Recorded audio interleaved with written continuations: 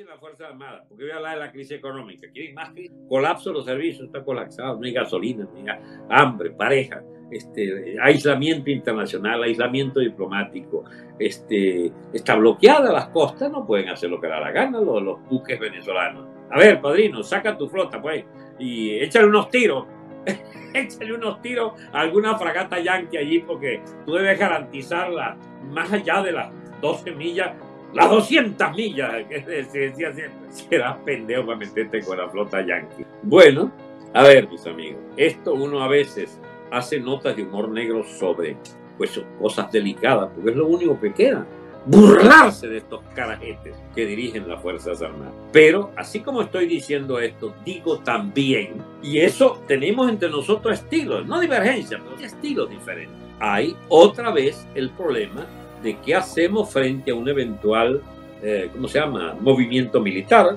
¿Estamos o no estamos a favor? Por supuesto que estamos a favor de que tumben ese carajo. ¿Por qué? Positivo que tumben a Maduro, ¿sí o no? Para mí me parece positivo. Ah, que lo que queda son nuevos agentes y nuevos, nuevos sinvergüenza. Bueno, ya veremos. Hay que esperar cuáles son los que llegan para entonces iniciar la guerra a los 10 minutos o a los 10 días de ese nuevo gobierno, porque se supone que debe haber, tiene que tomar medidas. ¿Cuáles son las medidas que toma ese gobierno? ¿Qué va a ser militar? Es un gobierno que echa. Yo le hice una pregunta a mi amigo Wilfredo. Mira, Wilfredo, y si me llaman esos militares para que sea parte del gobierno, ¿qué hacemos? Le digo yo. porque van a tener que poner cada civil. Este, y entonces me dice, no puedes aceptar. Bueno, pues acepta tú, le digo yo. bueno, porque es que se va a plantear el problema, hablando en serio, ahora sí es en serio, ahora sí en serio. Mire, si hay un gobierno militar, usted tiene dos opciones. A los cinco minutos decir que es una torta, que usted no está con ellos y que condena. ¿El nombre que va a condenarlo? es la, ¿cómo se llama? Es una violación de la constitución. No, no es violación. Está reponiendo quizás la constitución de ellos. Esa no es la mía. Pero yo vería incluso cuál es la actitud que toman. Ajá, eh, proponen, por ejemplo, un amplio diálogo internacional y llaman a Trump para sentarse a, ver cuáles son las exigencias de Estados Unidos para levantar las sanciones. Y de allá para acá se supone que este, la diplomacia americana le dirá, queremos esto, esto y esto y esto, y queremos estos 100 extraditables. Y empieza chico y montan el primer avión y me roban mis extraditables. Los roban, se los lleva el gobierno provisional ese militar y me quitan mi, mi, mi ¿cómo se llama? Mi mi oferta de, de, hacer el ampoducto y mandan 50, 100 tipos allí a, a.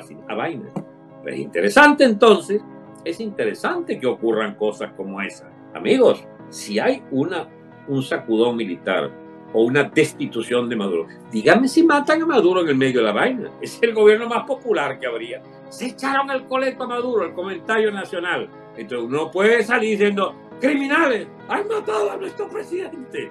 No, bien bueno que maten esa mierda. Pero entonces, ¿cuál es el escenario después de un golpe? Donde hasta puede Maduro quedar como chicharrón. Eso no se sabe, mis amigos. Hay que ver cuál es el programa. Porque lo normal sería que ese supuesto gobierno militar ofrezca la estupidez. Vamos a un gobierno provisional y vamos a hacer unas elecciones. Ah. Qué cagada, diría yo. Porque ¿quién pone los presidentes? Es como quien los pagan las encuestas, mi amigo el que tenga millones y millones de dólares para poner la figurita de, la figurita de consenso en el Country de Caracas. La aristocracia caraqueña no es la aristocracia de antes, yo no estoy hablando de los honorables miembros de la vieja, eh, eh, burguesía caraqueña. Yo estoy hablando de la cantidad de bicharracos sin principios e inmorales que han sido los socios de esta cagada de dictadura genocida de Maduro y Diosdado y de Maduro Chávez y Diosdado y de Padrino que está también en ese combo. Esa aristocracia de bandidetes que puebla las, eh, digamos, ilustre, ilustres zonas de Caracas, los van a llamar para que doten entonces del apoyo necesario. Y de ahí vendrían entonces las peticiones. Hay que, hay que calmarse, porque hay que ir a un proceso electoral. Se van al carajo de una vez, se lo digo, con su proceso electoral. No, nosotros no queremos elegir. Nosotros queremos un gobierno que mande. Yo no estoy diciendo que es el nuestro, yo estoy diciendo un gobierno que mande. El que vaya a hacer lo que vaya a hacer, que agarre el coroto y empiece a mandar. ¿Y qué va a mandar? Ah, si empieza a mandar en un ampoducto y me roban mis extraditables para hacer ellos lo que... Yo apoyo, adelante. ¿Cuál es el problema? Si es un gobierno de facto que hace cosas que, debemos que deberíamos hacer nosotros si nos los permitieran, bueno, vamos a ver cuáles son esas cuáles son esas medidas que toma ese gobierno de facto. Y empieza el chico a buscar hasta debajo de las piedras a todos los torturadores y criminales del propio SEBIN y la DSE. ¿Eso sería lo, lógico? Mm, no es lógico. Eso empiezan a tratar de protegerse y a darle chance que se fugue un puño malandro. Pero sí, y, y si persiguen a los malandros, porque ustedes saben cosas raras que ocurre, que hay centenares de oficiales maltratados, con familias reventadas. Hay mucho oficial desaparecido y oficiales muertos y oficiales en las cárceles de Ramo Verde y otras cárceles del país. Y esa gente no creo que salga si liberan inmediatamente los presos. No creo que esos presos militares salgan a aplaudir a ese gobierno de factos que estaban entre los que lo mantenían a ellos presos. Pero supónganse ustedes que empiezan a buscar a los responsables de esas exacciones, de esas medidas represivas contra esos muchos oficiales. Y empiezan a liberar todos los presos militares. Y empiezan a llamarlos a reuniones de emergencia. Que seguir esperando. Carajo, ¿qué pasa aquí? Diría uno. Amigos, la lucha por el poder no es la perspectiva NEPS. Ahí va a salir una, una, una ¿cómo se llama? Una anécdota tonta, pero útil. Los bolcheviques, cuando discutían entre ellos, si alguien proponía una, una propuesta, proponía propuesta, redundancia, una, una propuesta recta de, llegada al poder, decía, el camarada está proponiendo la perspectiva Nevsky del poder. Perspectiva Nevsky es una calle de una avenida ancha de Moscú o de Leningrado, ya no sé ni cuál es, este, que es una cosa, pero de una rectitud impresionante. Estoy hablando a principios del siglo XX. Y entonces ya tan recta como la perspectiva de La lucha por el poder, mis amigos, no es una perspectiva no es una avenida recta, recta. No, la, el asalto al poder, el mantenerse en el poder, el insurgir contra este poder y sustituirlo y garantizar que no quede ni raíz de nada de lo que significó estos 21 años de atropello, ese gobierno en estado puro. ¿Cómo se hace eso? Van a sobrar los que serían acusados en la transición de haber sido cómplices y corresponsables de todas las carajadas que ha hecho el alto mando militar y los altos mandos policiales. Ajá. Y para hacer eso, ¿qué se necesitaría? Bueno, que hubiera un nuevo ejército. Y si no hay entonces un nuevo ejército, ¿qué es lo que uno hace? Que ha venido proponiendo durante 21 años que esta mierda no existiera o que fuera borrada, o que fuera tumbada, o que fuera sacada de raíz. ¿Qué es lo que se hace? Estudia lo que van a hacer o lo que están haciendo. No prejuzga de antemano lo que no ha visto todavía. Si ese nuevo gobierno, obligatoriamente de apoyo militar, empieza por medidas complacientes con el chavismo y con la caterva de bandidos que ha gobernado, a ese gobierno hay que oponérsele a la media hora porque en media hora deberán hacer algo. Entonces usted se opone, porque, amigos, es así la lucha política, y más aún los remesones político-militares. Ustedes sabían que hubo dos golpes de Estado en 1958, el 23 de enero, cuando ya se establecía una junta civil militar en Miraflores, y los llamaron desde la Academia Militar para decirles que iban para allá porque no aceptaban ese gobierno. Los de la escuela militar, los oficiales, con otro alineamiento. Y había ya un gobierno instalado y cuando llegaron para afuera y sacaron el gobierno antes de las 12 del día, ya había otro gobierno, otro gobierno. Y al día siguiente todavía lo modificaron. Porque la historia, mis amigos, de los colapsos de un régimen depende del escenario. El escenario allí era suficientemente claro, había una dirección teleguiada por los tres grandes partidos, AD, COPE y URD, desde el exilio. El PC sí estaba, pero lo, le sacaban el cuerpo. Hay muchos mitos de ese día, que si la Junta Patriótica, la Junta Patriótica no pintó por un carajo. Esa es la verdad histórica. Las Fuerzas Armadas resolvieron y el marino la arrasaba, el más antiguo, el que le servía palitos de whisky a, a Pérez Jiménez hasta días antes, presidente del círculo militar, ese era el más antiguo y le tocó presidir aquello. Y no le gustó mucho porque no tenía poder real aquello. usted dejó al flaco Sanabria allí y se fue como candidato de URD que Jovito lo sedujo para esa postulación. Entonces aquí como que es mejor la vaina. Entonces, se hizo político el almirante La Razada. Esa es pequeña historia marginal. Lo que quiero decirle es que yo no sé qué tipo de gobierno es el que instaura los factores reales. ¿Y cuáles son los factores reales? Nombrar el alto mando militar, el Carlos Escotet de, de Banesco, que lo van a llamar este, a vaina. Si llaman a Carlos Escotet, va a pretender que ahí esté representado el sector de las altas finanzas el que ponga a Carlos Escote que guindarlo por el pescuezo si es el caso. No pueden acusarme de nada. Es si lo pone y si es del representante de las altas finanzas, porque es el representante del malandraje financiero que es corresponsable de haber enterrado a Venezuela. Muy bien. ¿Y qué otro factor? Los, los fedecamarizados o la, no sé qué van a poner, qué, qué, empresario de cuarta línea queda allí. ¿Por qué no se quedan quietos y defienden su empresa y se ocupan de, su, de sus empleados y de sus obreros hambreados?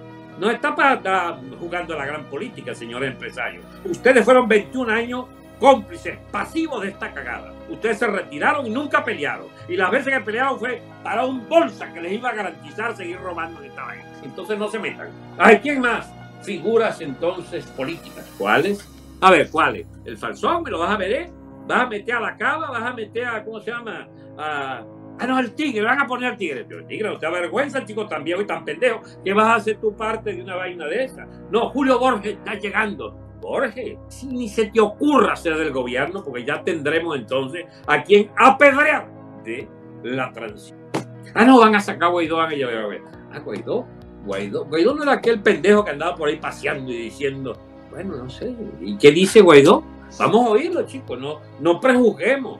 A ver, ¿qué te mandó a decir Leopoldo López, Guaidó? ¿Qué es lo que vas a decir en ese gobierno provisional?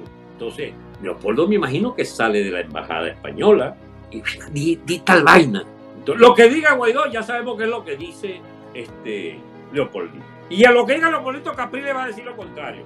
Es decir, empieza la guerra al día siguiente de todos ellos. Bueno, mis amigos, lleven la cuenta. Las opciones que van a aparecer son todas opciones de lo que hay ahora. De las complicidades de ahora que pretenderán transmutarlas en las nuevas complicidades durante un gobierno provisional. Yo sé que esto se va a hacer largo y fastidioso, mis amigos, y entonces habrá que terminar. Pero de que viene una crisis militar, viene. De que habrá estallidos, habrá estallidos de que va a haber plomo del grueso, habrá plomo del grueso. Fíjese usted que hasta ahora no he metido el factor norteamericano, que puede ser el desencadenante. Porque si Trump un día de esto descubre que después de todo el punto más vulnerable en el mundo entero, de China, con la cual ellos empiezan un mariquerón a nivel mundial, en comercio y en política, si descubre Trump o se acuerda que la, el punto de vista, el, ¿cómo se llama? El punto más débil de China en el mundo es Venezuela, por haber sido cómplice de un gobierno siniestro como el de Maduro Chávez. Entonces hay que golpearlo allí. Y además ayudar a Colombia, que está en, a un tris de empezarle el torbellino de crisis política y de crisis este, de la insurgencia, de la insurgencia de la izquierda maldita esta de Colombia también. Y su primera presa es el, el pobre Uribe que los amparon preso. Esa es la herencia de. Esa es la herencia de Obama, ¿sabes? La herencia de Santos es la herencia de Chávez y de Maduro en la política colombiana. Bien, entonces puede, mm, ¿cómo se llama? Trump haber llegado a la conclusión de que unos droncitos no es mala idea para ayudar a limpiar un poco el terreno y para agitar el terreno. Porque hay que agitar el terreno, que la gente sepa que hay un corte quirúrgico un corte quirúrgico, por ejemplo, es que hay un golpe militar. Es un corte quirúrgico. No sé lo que viene, pero peor que esto es muy difícil que sea. Pero puede convertirse en algo peor, sí. Si pretende, por ejemplo, seguir con esto con caras nuevas, pero es la misma voz, la misma bosta, entonces hay que salir al día siguiente. Amigos, es muy difícil imaginar Caracas con un nuevo gobierno. Que no salga automáticamente la gente a tratar de quemar las casas a los gerifaltes del chavismo y a tratar de guindar por el pescuezo a los torturadores y a los asesinos. Es muy difícil. ¿Qué va a hacer la Fuerza Armada? ¿Le va a echar plomo al pueblo? ¿Va a echarle tiro a los manifestantes? Por eso es muy malo andar diciendo, este gobierno que se ha constituido no le merece, no merece ni un segundo. No, dale una hora, dale dos horas, dale 24 horas. Si a las 20, y si en 24 horas empieza a tomar medidas que tienen apoyo militar para hacerla, chicos, déjalos hacer, porque si no tienes que hacerlo tú, que no tienes fuerza militar. Porque lo que hay que hacer, mis amigos, lo primero que tiene que hacer un gobierno es dotarse de una fuerza policial y militar con capacidad para imponer mediante métodos muy duros la disciplina del país. No se engañe nadie. Nosotros no vamos ni a elecciones ni a gobiernitos que se mantengan allí en el consenso del Country Club de Caracas. No. Nosotros vamos al poder si hay la capacidad para generar milicias armadas de defensa de ese gobierno nuevo, si un sector de las Fuerzas Armadas nos presta lealtad, por lo menos transitorio, para depurar esa Fuerza Armada de 8 de cada 10 altos oficiales que son malandros al servicio de Maduro y Chávez y salvar la institución armada si es que es salvable, ese proceso, mis amigos, es convulsivo por definición. Y la primera gran batalla yo no digo empezar al día siguiente con 50 frente a darle la batalla armada a todo el mundo. Yo no sé lo que hay que hacer en cada caso, pero en el conjunto les puedo decir, no se les ocurra decretar todas las guerras el mismo día, porque nos pueden envainar y puede retroceder la situación. Porque hay que calibrar las fuerzas que tengas. El proceso de toma del poder por los repúblicos, mis amigos, es de eso que estoy hablando. Es un proceso que tarda algunas semanas. Entonces, si sale un, ¿cómo se llama? Un galifato allí, lo ponen de figura civil, incluso vamos a dar chance. A lo mejor el galifato tiene idea que tomó prestada nuestra y dice algunas cosas sensatas o propone algunas cosas sensatas. Vamos a ver, vamos a, ver, vamos a darle chance. Porque no se trata de que somos nosotros, no es nadie. No, no, ya va, puede ser alguien lo tiene que hacer no lo que nosotros decimos, sino lo que el país necesita, que es limpieza profunda de toda esta plaga. Eso la va a hacer.